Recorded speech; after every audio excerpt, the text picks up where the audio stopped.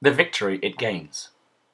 Welcome to Daily Scriptures, and today we stay with the Revelation and look at chapter 12, verses 7 to 11, with particular interest in verse 11, where we read, They triumphed over him by the blood of the Lamb and by the word of their testimony.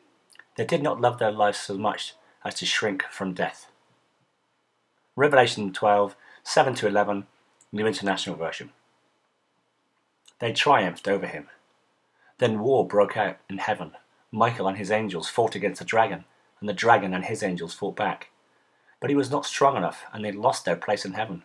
The great dragon was hurled down, that ancient serpent called the devil, or Satan, who leads the whole world astray. He was hurled to the earth, and his angels with him. Then I heard a loud voice in heaven say, Now have come the salvation, and the power, and the kingdom of our God, the authority of his Messiah. For the accuser of our brothers and sisters who accuses them before our God night and day has been hurled down. By the blood of the Lamb and by the word of their testimony, they did not love their lives so much as to shrink from death. The atonement gains victory. The cross has ended Satan's power over humanity and has provided us with three mighty weapons by which we can overcome him the blood of the Lamb, the word of our testimony, and the sacrificial spirit of the cross.